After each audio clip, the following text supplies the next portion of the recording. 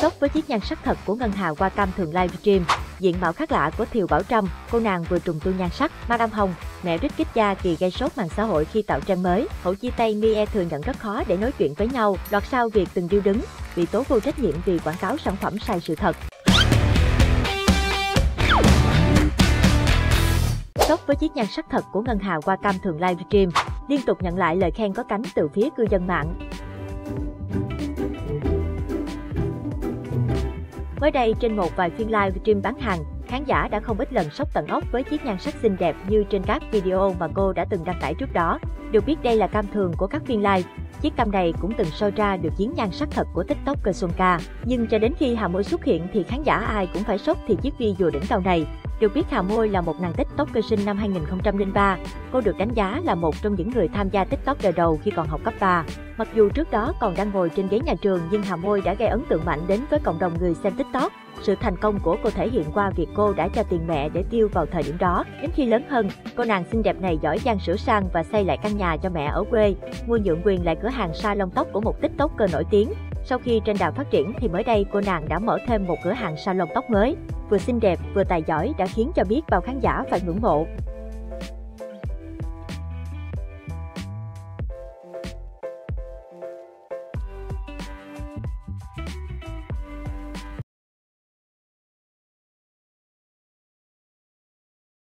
Diện mạo khác lạ của Thiều Bảo Trâm, cô nàng vừa trùng tu nhan sắc, thay đổi ngoạn mục, xinh đẹp không tì vết.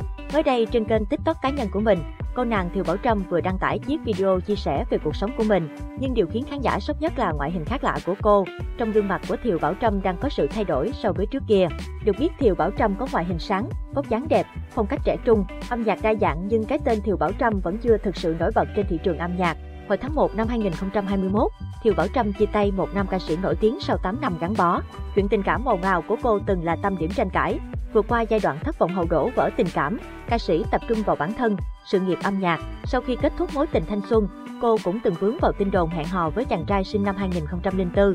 Và dạo gần đây cô nàng được nhiều khán giả nhận xét ngày càng trở nên xinh đẹp, rạng rỡ trông thấy.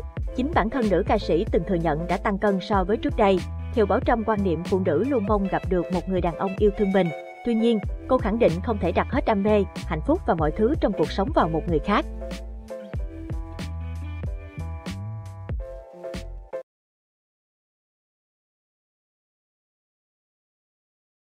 Madame Hồng, mẹ Rít Kích kỳ gây sốt mạng xã hội khi tạo trang mới, đứng top tìm kiếm sau series Scandal cực xì tin. Thời gian gần đây, Rít Kích kỳ gây chú ý trên mạng xã hội vì thay đổi diện mạo. Trong chuyến về Việt Nam thăm mẹ mới đây, Rít Kích quận 7 còn rủ mẹ tạo series Scandal, đổ đồ cho nhau khiến dân tình thích thú với loạt clip cảm lạnh cùng mẹ là Madame Hồng. Nhiều người còn nhận xét cách nói chuyện của hai mẹ con cưng quá xá, đúng chất người miền Tây chân chất dễ thương. Trong những màn lên đồ, Netizen còn được dịp ngó qua tủ đồ hiệu của nữ doanh nhất, cũng rất gì và này nọ à nha. Bên cạnh đó, Madame Hồng còn khiến dân tình phát cuồng với câu chào mới toanh. Hello, hello các chị nhỏ cô ơi, hôm nay cô xuất hiện trở lại nha. Là cái chị có gì khỏe không? Khỏe không? Với điều bộ vui nhộn và cách nói chuyện dí dỏm, nhiều người dự đoán đây sẽ là trend mới trong thời gian tới. Ngoài những clip lên đồ, Madame Hồng còn ghi điểm bởi hình ảnh người mẹ nấu ăn cho con gái cực kỳ đảm đang, chu đáo. Những khoảnh khắc đời thường giản dị của hai mẹ con rít kích thu hút hàng triệu lượt xem và bình luận trên mạng xã hội. Sự xuất hiện của Madame Hồng như một làn gió mới trên mạng xã hội Việt Nam. Nữ doanh nhân không chỉ là mẹ chồng quốc dân trong mắt Gia Kỳ mà còn là hình ảnh người mẹ trẻ trung, hiện đại, được nhiều người yêu mến. Tuy là Madame Hồng đánh mắt có hơi đậm nhưng mà nói chuyện dễ thương nên cộng cho 10 điểm.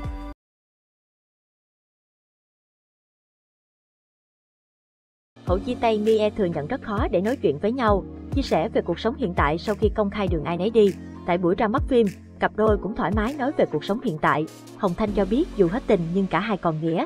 Cặp đôi chọn cách làm bạn, đồng nghiệp sau khi đường ai nấy đi, sẵn sàng hỗ trợ nhau trong công việc. Chúng tôi cũng đang cố gắng hoàn thiện mình mỗi ngày để tốt hơn. Nói về chuyện làm bạn với người cũ, Mie thừa nhận, lúc chia tay xong, chúng tôi cũng như bao cặp đôi khác, rất khó để nói chuyện với nhau, nhưng đến cuối cùng, Chúng tôi nghĩ rằng cả quá trình yêu cả hai cũng đã rất chân thành, tử tế.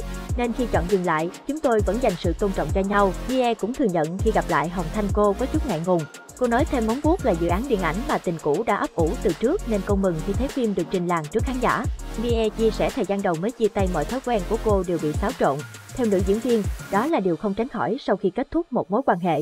Trải qua khoảng thời gian dài, cả hai dần thích nghi, xây dựng cho mình cuộc sống riêng. Cô nói thêm thời điểm còn yêu nhau hay khi đã chia tay, cô và Hồng Thanh đều bị đặt lên bàn cân so sánh, đôi lúc khiến nữ diễn viên cảm thấy tổn thương. Đến hiện tại, dù ai có đi hướng nào thì chúng tôi vẫn đang cố gắng trên con đường của mình.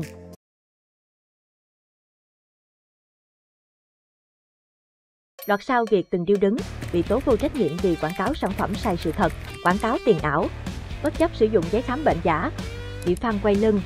Một dàn nghệ sĩ phải lên tiếng xin lỗi. Dàn sau quảng cáo tiền ảo. Hàng loạt gương mặt nổi tiếng trong showbiz Việt như Ngọc Trinh, Kiều Minh Tuấn, Nam Thư, Lê Dương Bảo Lâm đã khiến dư luận xôn xao khi liên tiếp đăng bài quảng cáo tiền ảo. Dù bất ngờ là nội dung của các bài viết này giống hệt nhau, từ câu chữ cho đến hashtag. Ngay lập tức, nhiều cư dân mạng tinh ý nhận ra rằng trong danh sách còn có cả đồng tiền ảo FXT liên quan đến mô hình đa cấp biến tướng Lion Group mà VTV liên tục phản ánh trong thời gian qua. Chỉ vài tiếng sau đó, những ngôi sao trên đã xóa sạch bài đăng trên trang cá nhân. Dù vậy, dư luận vẫn hết sức bất bình khi người nổi tiếng sử dụng uy tín của mình để tiếp tay quảng bá cho các sản phẩm gây tranh cãi. Đáng nói ở chỗ, đây không phải là lần đầu tiên người nổi tiếng bị dư luận lên án gây gắt khi nhận quảng cáo cho những sản phẩm kém chất lượng hoặc có dấu hiệu vi phạm pháp luật. Nghệ sĩ Hài Vân Dung quảng cáo thuốc bằng giấy khám bệnh giả. Dư luận từng choáng váng khi Vân Dung được nhắc tên trong phóng sự của VTV24 vì quảng cáo thuốc bằng giấy khám bệnh giả. Đoạn quảng cáo được nữ danh hài đất Bắc đăng tải trên chính trang cá nhân của mình. Trong clip, Vân Dung chia sẻ rằng mình đang đi khám sức khỏe định kỳ. Nữ nghệ sĩ còn chỉ giấy xác nhận có ghi tên Bệnh viện Phụ sản Hà Nội về phía ống kính để tăng độ thuyết phục. Theo đó, cô có một khối u nhỏ trong tử cung, nhưng sau khi sử dụng một loại sản phẩm có tác dụng tiêu tăng u sơ, u nang, khối u đã biến mất. Tuy nhiên, Bệnh viện Phụ sản Hà Nội cho biết mẫu bệnh án mà Vân Dung đưa ra là không chính xác. Ngoài ra, bệnh viện này cũng khẳng định vị bác sĩ trong giấy khám hai phòng 225 đều không tồn tại. Sự việc này đã khiến hình ảnh của nữ danh hài bị ảnh hưởng nghiêm trọng. Sơn Tùng MTV quảng cáo mặt nạ cho hãng mỹ phẩm bị tố đa cấp là ca sĩ có sức ảnh hưởng nhất nhì showbiz Việt, nhất cử nhất động của Sơn Tùng MTV đều được chú ý. Do đó, khi biết nam ca sĩ quảng cáo mặt nạ cho một hãng mỹ phẩm kém chất lượng, người hâm mộ không khỏi thất vọng và liên tục phản đối. Theo tìm hiểu của một số cư dân mạng, hãng mỹ phẩm này hoạt động theo mô hình mang dáng dấp đa cấp. Trước đây còn dính nghi án bán kèm trộn. Dòng mặt nạ của họ được quảng cáo là đã đạt chứng nhận thuần chay do phía Hàn Quốc cấp. Thế nhưng, khi các beauty blogger kiểm tra danh sách chứng nhận trên website phía Hàn Quốc, sản phẩm này lại không có tên, chưa kể logo chứng nhận còn có sự khác biệt. Sau đó, Sơn Tùng MTP đã lên tiếng giải thích. Anh cho biết đã tự mình trải nghiệm sản phẩm 5 tháng trước khi trở thành đại sứ thương hiệu. Đến lúc này, người hâm mộ lại phát hiện ra điểm mâu thuẫn trong lời nói của nam ca sĩ. Sản phẩm mặt nạ mới được thử nghiệm và đăng ký an toàn vào tháng 7, ra mắt vào tháng 9. Thế nhưng đến tháng 10, Sơn Tùng MTV thanh minh rằng mình đã dùng được 5 tháng và rất tin tưởng sản phẩm. Lương xuân này đã khiến không ít người hâm mộ giọng ca đất Thái Bình quay lưng lại với anh.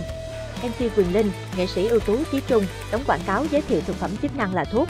Tháng 4 năm 2019, nhiều người tiêu dùng gửi đơn tố cáo tới các cơ quan truyền thông về sản phẩm viên sủi S ép do MC Quyền Linh và nghệ sĩ ưu tú Chí Trung quảng cáo.